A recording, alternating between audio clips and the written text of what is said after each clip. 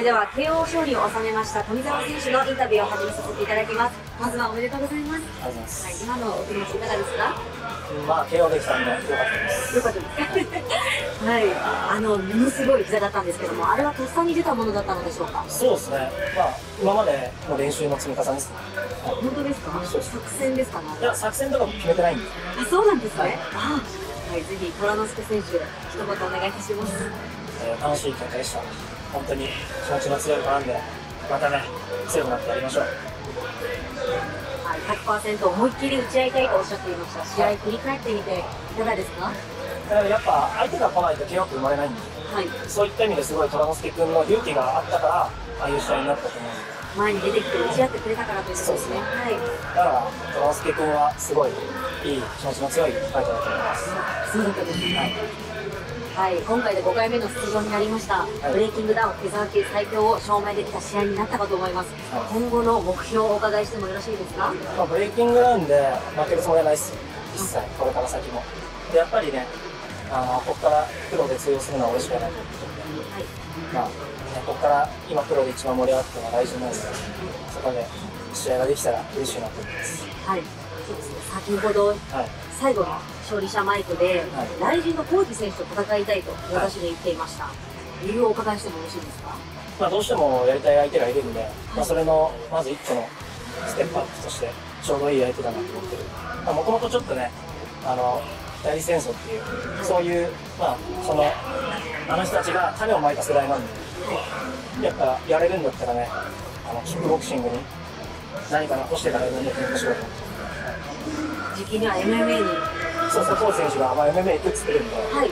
行く前にじゃあこの、ね、育ってきたお前らがまいた種だろ強くなってきたんだからしろよそういうことですね。はい。わかりましたぜひこれからもファンの方々へ一言お願いいたします。えーそうですね、まあ、本当に俺は格闘技の次の時代のスターになるつもりなんで、ね、これから一緒に盛り上げてくれたら嬉しいです。これからも応援よろしくお願いします。ありがとうございました。今試合を終えた率直な心境をお聞きしてもよろしいでしょうか？悔しいです。まあ、その、喧嘩がどうこうとか、まあ、喧嘩じゃ先は見えないなと思ったんで、まあ、気持ちは喧嘩のままこれからも続けていこうと思うんですけど、まあ、その中で、まあ、ミクロさんからも、テクニックをもっとつけたらいいっていうふうに言われて、だから、そういう部分もちゃんとしっかり考えながら練習していきたいなと思ってます。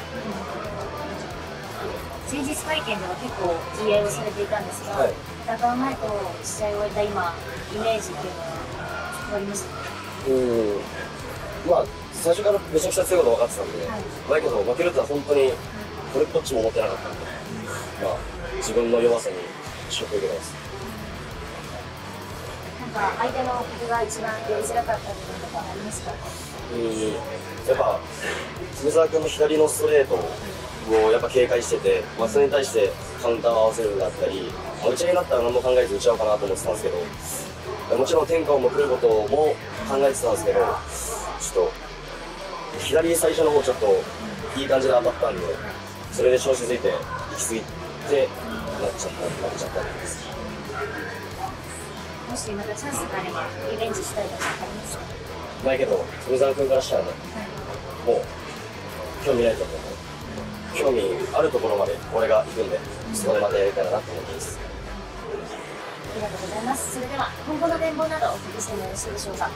えっと MMA でライジング目指してるんで、まあ、その中でこういうブレイキングラウンドでその至近距離での打ち合いであったりそういうのってやっぱ MMA の試合でも生きてくると思うんで、まあ、今回 KO 負けしたんでナインは無理だと思うんですけどこれから先自分がもし出れるのであればそれ以上に強い虎の姿を見せるのでぜひ期待してください。